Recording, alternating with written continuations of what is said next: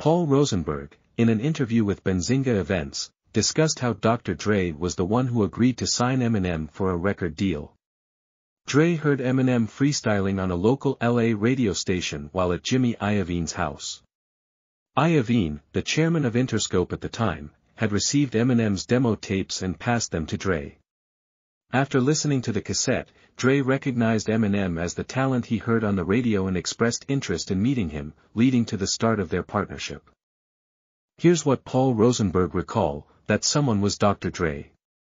We went out to LA and we were doing some stuff on the radio. Marshall was freestyling on the radio. Apparently Dre heard him on local LA radio. One weekend he was at Jimmy Iovine's house. Jimmy at the time was the chairman of Interscope. Jimmy brought a bunch of demos back that we had, which he had got from his assistant. Jimmy had the cassette, and Dre was going through his music and said, well, what's this?